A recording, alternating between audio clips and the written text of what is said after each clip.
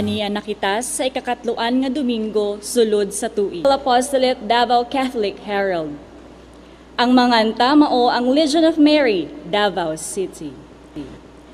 Manindog ang tanan o gawito nato ang pasiunang awit.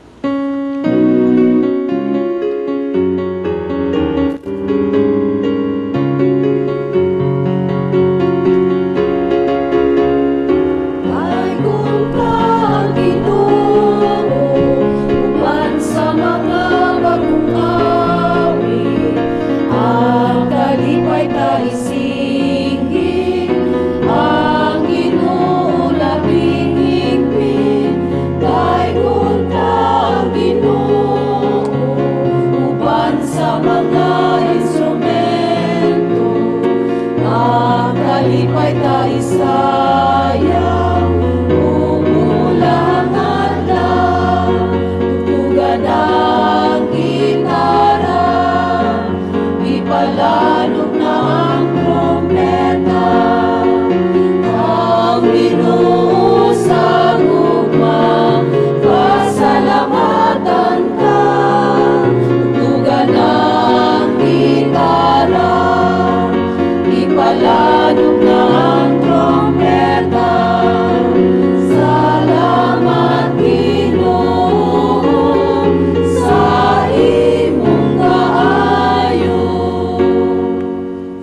Ngalan sa Amahan, ug sa Anak, ug sa Espiritu Santo. Ang grasya sa atong Ginoong Hesus Kristo, ang gugma sa Dios, ug ang panaghiusa sa Espiritu Santo, maanaa kaninyo. Mga igsuon sa dakong pagpaubos ato karong dawato ng atong mga sala ug mangayo kita sa pasaylo sa Ginoo aron mahimo kitang angayan og takos sa paghalad ni ining santos nga misa. Kaluy-an unta kita sa Dios nga makagagahom sa tanan ug pasayloon sa atong mga sala.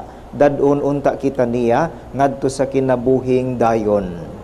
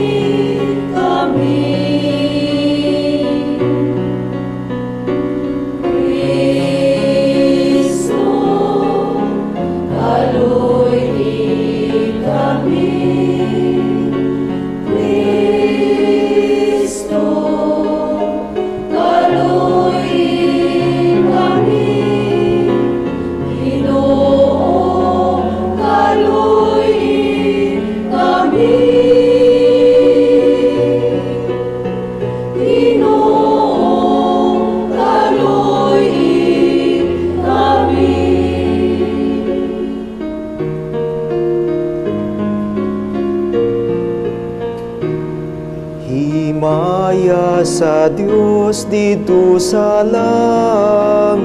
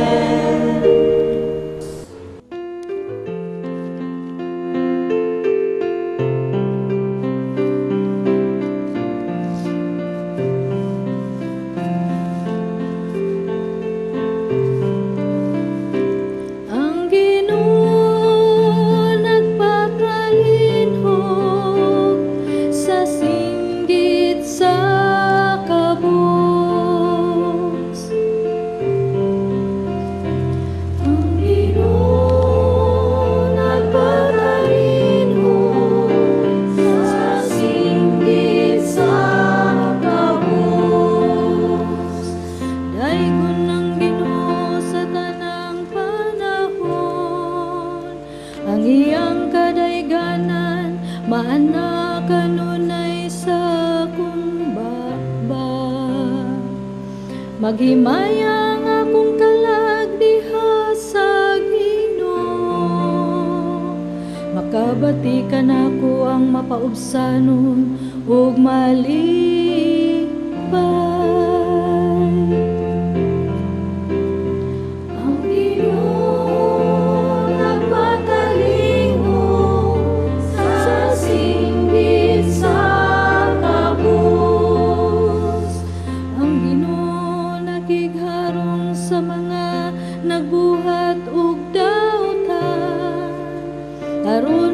mapapas ang ilang handumanan dinhi sa yuta. Sa pagtuaw sa matarong nagpatalinhog kanila ang Ginoo. Ug sa tanan nilang mga kalisdanan giluwas niya sila.